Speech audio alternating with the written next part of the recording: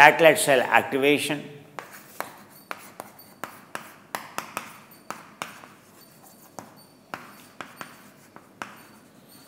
by rupture, how much rupture it is causing, the amount of the rupture directly proportional to the amount of the arachidonic acid released. The amount of arachidonic acid released is directly proportional to the satellite cell released.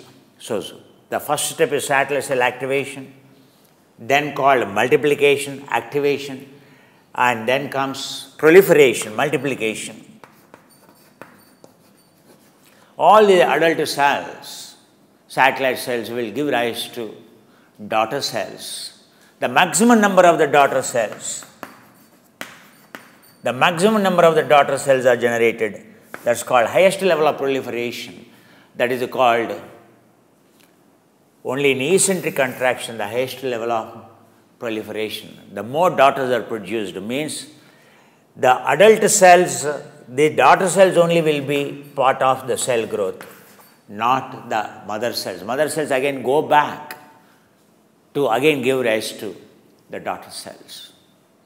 So, all that matters is the highest number of daughter cells, the cell proliferation is a very critical step. So, your eccentric contraction will give rise to highest level of proliferation, dot, highest number of the eccentric contraction like in yoga, a programmed as I told you, for which purpose, how you are going to design your cell, what is the purpose of doing Rakshana Krama, what is the purpose of lifting the weights, what is the purpose of the leg presses, what is the purpose of this presses, what is the purpose of running in the, jogging in the park. At the end, everything is a contraction. The purpose is to release the satellite cells, but the number of satellite cells are released it is the question is for the highest level of the daughters.